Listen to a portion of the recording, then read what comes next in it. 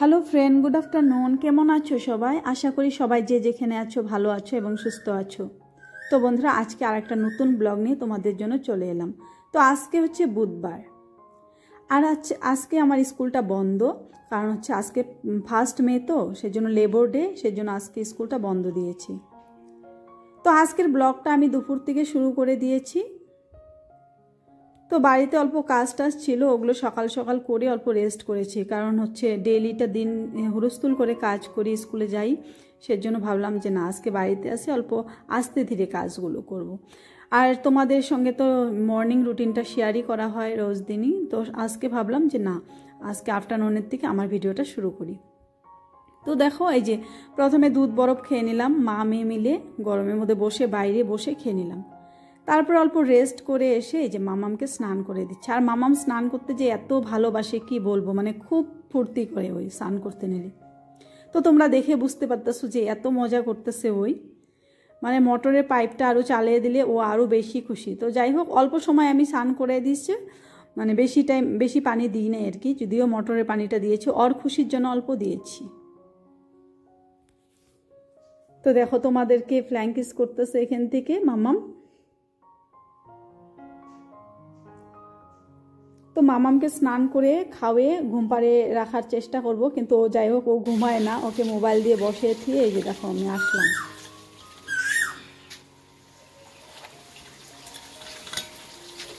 তো বন্ধুরা, দেখো এই যে বরফ বানানোর জন্য এই যে এগুলো অর্ডার করা হয়েছিল।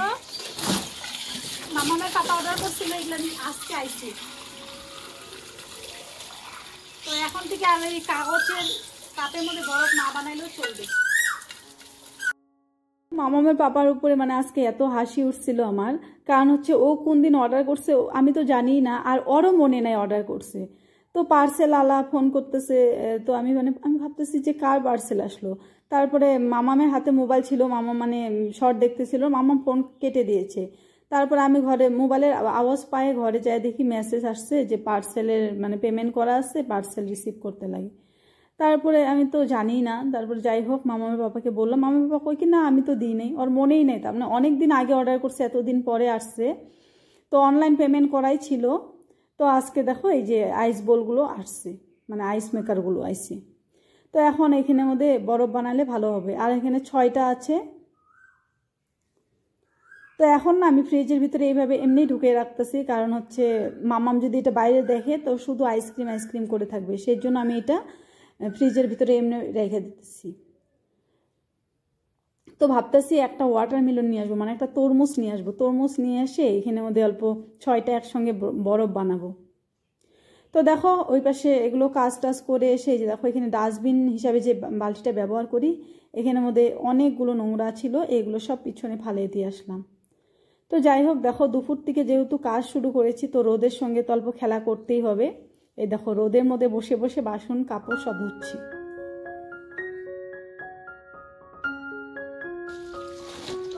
কতগুলো কাপড় বেড়াইছে এই ধুয়ে দিব। ধুয়ে ভিজিয়ে রেখে তারপরে ঘরটা মুছে আসব। আর হচ্ছে এখন কাপড়গুলো ভিজিয়ে ঘরটা মুছে তারপরে কাপড় দিয়ে স্নান করে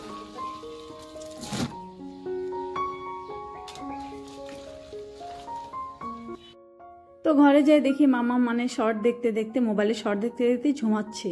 তো ওকে নিয়ে অল্প বিছনায় শুয়ে পড়লাম, তারপরে মানে পাঁচ দশ মিনিট ওর সঙ্গে শুয়ে থাকার জন্য মামামও ঘুমিয়ে পড়ল। তো যাই হোক, মামাম ঘুমিয়ে পড়ল যদি, তাহলে এখন কাপড়গুলো ধুয়ে নিই তো আজকে যেহেতু বন্ধ আছে, তো ভাবলাম যে না, কিছু কাপড় কম ধুলেও চলতো তাহলে ভাবলাম যে না, ধুয়ে নিই বেশি করে, তাহলে কালকে বা পরশু দিন অল্প কম ধুলেও চলবে। তো এখন ঘরটা মুছে নিব।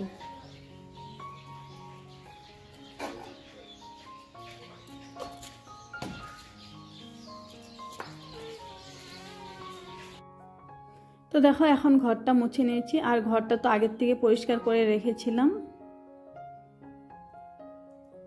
মামাম তো এপাশে ঘুমাচ্ছে, আর হচ্ছে ঘরটাও মুছে নিচ্ছি। আর ওই পাশে আমি কাপড়গুলো ভিজিয়ে রেখে দিয়ে এসেছি। তো এই ঘরটা মুছতে মুছতে কাপড়গুলো অনেকটা ভিজে যাবে। আর কাপড়গুলো যদি অল্প আগে থাকতে ভিজিয়ে রাখি না, তাহলে কাপড়গুলো কিন্তু মানে ভালো করে পরিষ্কার হয়। আর ধুইতেও বেশি খাটনি হয় না। তো শুধু এক দুইটা খচা দিলেই কাপড়গুলো, ময়লাগুলো বেরিয়ে যায়। তো এইভাবে কাজকর্ম করি আমি, যদিও অল্প টাইম রেস্ট করি, তারপরে ওইটাও মানে সিস্টেম মতন কাজ করলে না সব কিছুই করা যায়, আসলে রেস্টও করা যায় কাজগুলো কমপ্লিট হয়ে যায়।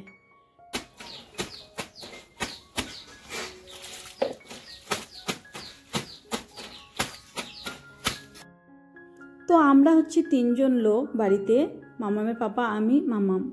তারপরেও যে আমাদের এত কাপড় বেরোয়, কি করে বুঝতেই পারি না। আসলে কি জানো, অল্প একবার যদি আমি কাপড় পরি, ওই কাপড়টা মানে এইভাবে রাখতেই পারি না। চাই বিছনার চাদর যদি আমি আধা ঘণ্টার জন্য পাতি, তো ওইটাও তারপরেও ভাবি যে না, সার্ফ না হোক, অল্প একটু হালকা সার্ফ দিয়ে একটু পানি দিয়ে ধুয়ে দিব তো সেইটাই হচ্ছে আমার মানে একটা খারাপ অভ্যাস আর কি। আর সেইটার জন্যই যে আজকে যে একটা বেড কাভার ভিজাইছি, এই বেড কাভারটা মানে ওই সুতির চাদরটা উঠাইছিলাম তো অল্প টাইমের জন্য বিছনাটা খালি থাকে জন্য ওইটা পেতে দিয়েছি। তারপরে ওই চাদরটার মধ্যে আমরা অল্প শোয়া টোয়া করেছিলাম, তারপরে হচ্ছে মামাম খেলাধুলা করছে।